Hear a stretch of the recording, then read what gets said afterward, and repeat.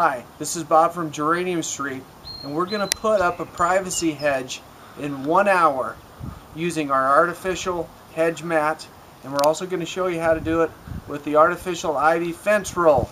So come on, we're going to have a great project.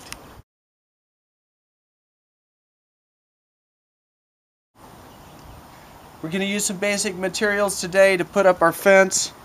We're going to use level, wire, wire cutters. We're going to use these zip ties. Let's have a pair of leather gloves around and maybe even some safety goggles because we're going to be using chicken wire.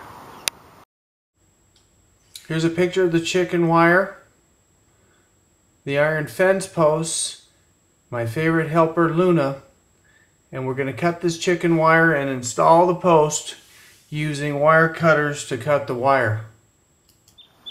We're going to attach the chicken wire here to the poles so we can attach the hedge mat to it. This hedge mat had no way to tie the ends together so we used zip ties. It was very easy to fasten the two different panels so they would be flat laying against the screen.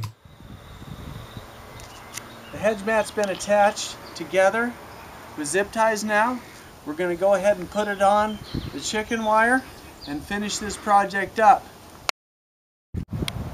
We'll go ahead and put in the zip ties here. So now you can see the project is about complete.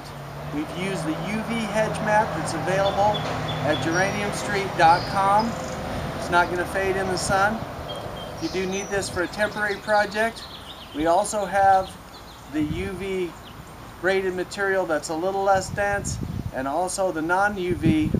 However, if your budget is a big deal, you're going to take a look at the Ivy fence roll where you can do that same thing for about half the cost as this project. There you go. Have a nice day.